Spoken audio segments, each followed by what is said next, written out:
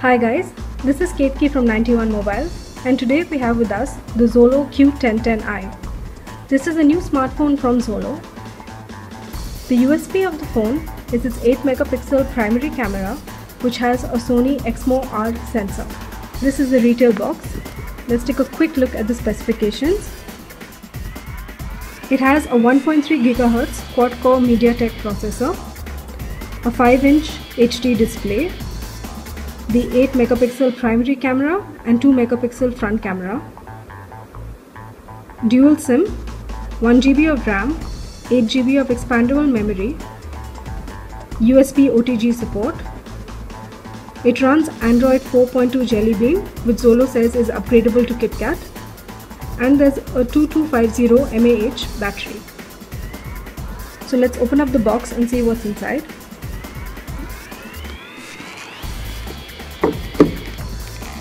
On top you have the handset.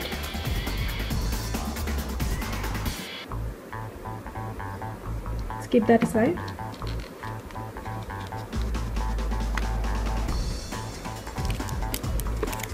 There's a free screen guard a bundled flip cover.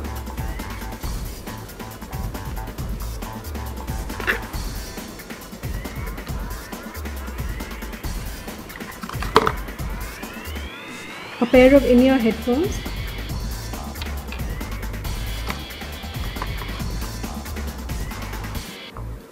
A 2-pin wall charger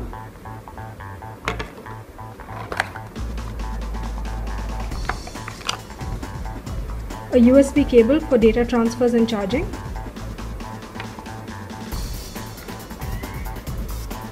a USB OTG cable,